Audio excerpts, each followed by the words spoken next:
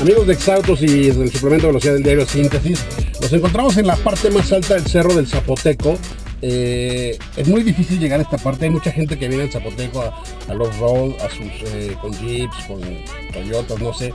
Pero llegar a esta punta, a la última punta del Zapoteco, no cualquiera lo hace. Y lo acabamos de hacer en un eh, Range Rover Evoque. Ahorita estamos comenzando la bajada y traemos, traemos eh, encendido el sistema de asistencia de descensos que nos permite pues, prácticamente soltar los pedales y que la camioneta determine la inclinación a la que estamos, la velocidad que vamos a alcanzar y frenar o soltar los frenos dependiendo de lo que, de lo que del terreno, como se lo, de- se está indicando el terreno a la camioneta.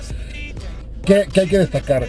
Que, por ejemplo, ayer que fui por ella a la Ciudad de México, me la traje por autopista. El comportamiento en autopista fue increíble, de un GTI. Es, un coche deportivo, pero también aquí en el off-road lo está haciendo muy bien. No como el Defender que hace poco probamos, tal vez haya ciertas situaciones, no las he podido encontrar todavía, en las que el Defender sí puede y esta no.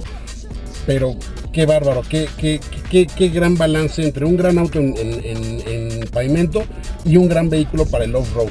No trae llantas para off-road, de hecho sus llantas son de perfil pequeño, son más para correr, más para estar en situaciones de carretera. Pero aún así con esas llantas, aquí en el off-road lo está haciendo increíble. No tiene una idea qué gran vehículo. Eh, arranca en los 54 mil dólares. Hay versiones de 5 o de 3 puertas. La de 3 puertas es un vehículo muy bonito, es el que más me gusta a mí.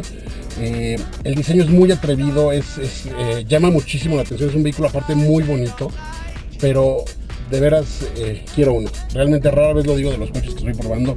Es excelente combinación para todo. Familiar, deportivo, off-road. Pocos coches pueden ofrecer lo que este nuevo Range Rover Evoque ofrece. Eh, vamos a tener la prueba más completa el sábado a la una de la tarde en Exa Autos. eh, por Exa Puebla 98.7 FM o en internet www.exapuebla.com.mx eh, el viernes el diario Síntesis, ahí van a estar más fotos publicados dentro del, del- del suplemento Velocidad. Y nuestras redes sociales, Facebook, Twitter y YouTube, nos pueden encontrar tanto como M Bravo Cars como Ex Autos. Están enlazados y es muy fácil encontrarnos. Yo los dejo con la mejor información automotriz en todos los medios posibles. Adiós.